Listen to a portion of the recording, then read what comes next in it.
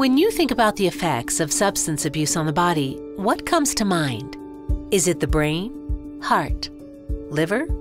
While drug use takes a heavy toll on our organs, some of the most obvious effects can be seen in the mouth. Many of the most common drugs, illegal and legal, like alcohol, have some of the same effects on oral health.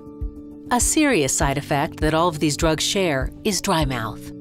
Dry mouth is a condition that occurs when not enough saliva is being made. Saliva is very important for good oral health.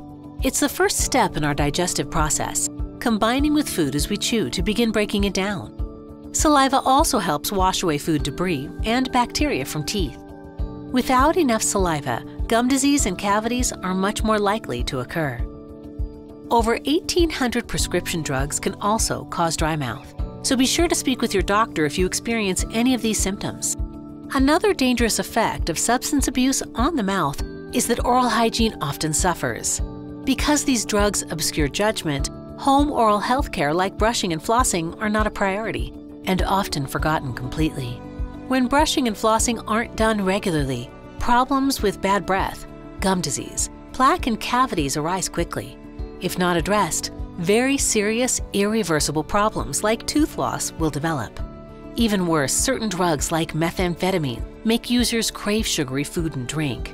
Consuming sweets without brushing or flossing is a recipe for tooth decay and dental disease. If you or someone you know is experiencing problems with substance abuse, the U.S. Department of Health and Human Services offers a free helpline available 24 7. At Delta Dental of Arkansas, we're proud to be the champions of your smile. For more helpful oral health tips and information, visit www.deltadentalar.com.